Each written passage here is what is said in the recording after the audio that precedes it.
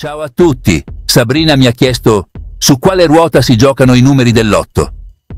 Oggi ci addentreremo nel fantastico mondo delle teorie e delle credenze popolari su come scegliere la ruota giusta all'otto in base ai sogni.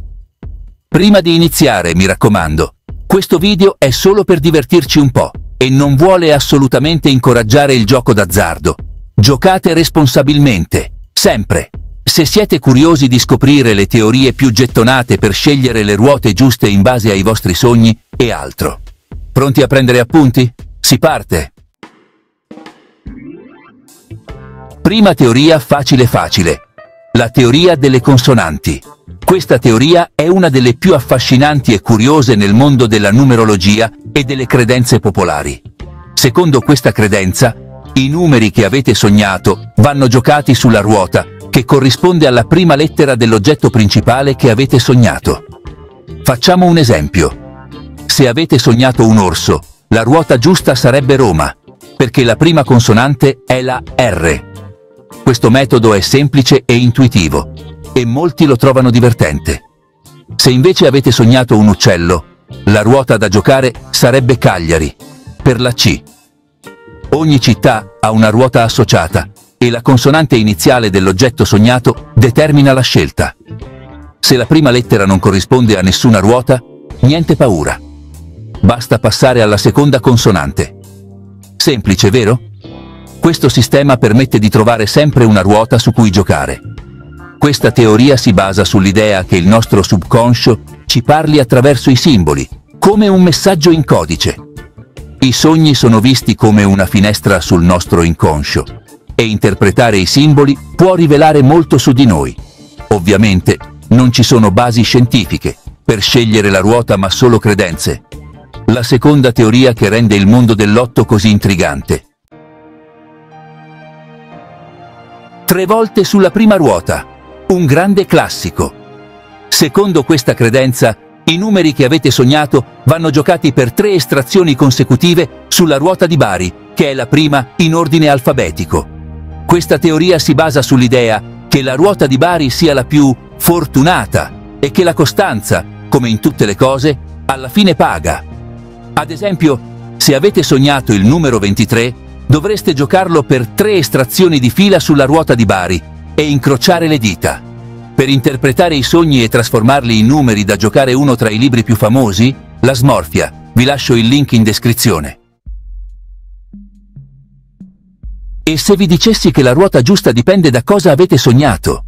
Immaginate di poter decifrare i vostri sogni e collegarli a numeri specifici per il gioco dell'otto. Non sarebbe affascinante? La terza teoria si basa proprio su questo. Il tema principale del vostro sogno. Ogni sogno ha un significato nascosto che può essere rivelato attraverso l'analisi del tema. Secondo questa teoria, ogni ruota è associata a un tema specifico.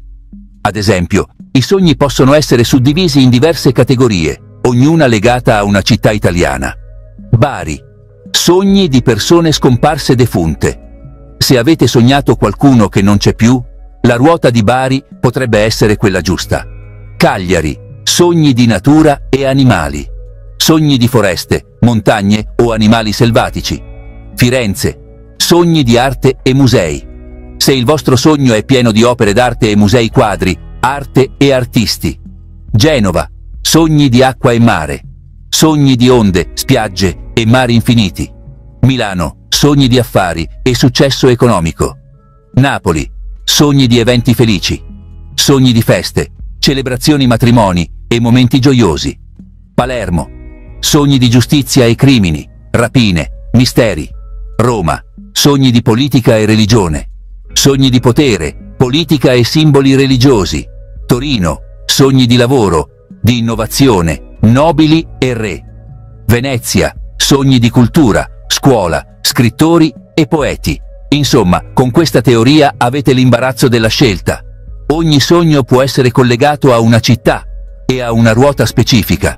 Però, mi raccomando, analizzate bene il vostro sogno per individuare il tema principale.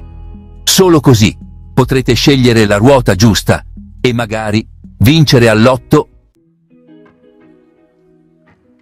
E se la soluzione fosse la più semplice di tutte? A volte, le risposte più ovvie sono proprio davanti ai nostri occhi.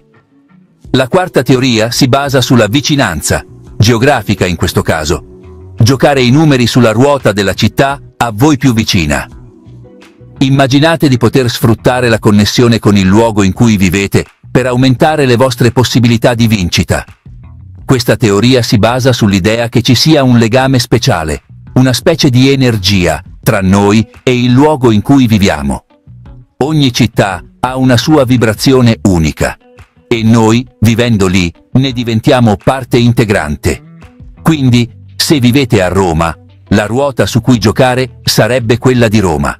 La città eterna, con la sua storia e la sua cultura, potrebbe influenzare positivamente la vostra fortuna. Se vivete a Milano, la ruota da giocare sarebbe quella di Milano, e così via. Milano, con il suo dinamismo e la sua modernità, potrebbe essere la chiave del vostro successo. Questa teoria è sicuramente la più facile da applicare. Non c'è bisogno di interpretare il sogno o di conoscere teorie complicate. Basta sapere dove vivete e giocare di conseguenza. Però potreste pensare che non tiene conto di cosa avete sognato, giusto? I sogni sono una parte importante della nostra vita e spesso contengono messaggi nascosti. In questo caso, potreste usarla come punto di partenza e poi modificarla in base agli altri elementi del vostro sogno. Ad esempio, se avete sognato un particolare numero o simbolo, potreste integrarlo nella vostra scelta finale. Così facendo, combinerete la semplicità della teoria della vicinanza con la profondità dei vostri sogni, creando una strategia personalizzata e potenzialmente vincente. Siamo arrivati alla fine del nostro viaggio attraverso le teorie su come scegliere la ruota su cui giocare i numeri che sogniamo. Mi raccomando, non esiste una formula magica o un metodo infallibile per vincere all'otto. La scelta finale spetta sempre a voi. L'importante è giocare per divertirsi, senza esagerare e senza farsi prendere dalla voglia di vincere. Ricordate che la vera vittoria sta nel vivere la vita con gioia e serenità, che esca il vostro numero oppure no. E voi, quale teoria vi ha convinto di più? Avete già provato ad applicarne qualcuna? Fatemi sapere nei commenti.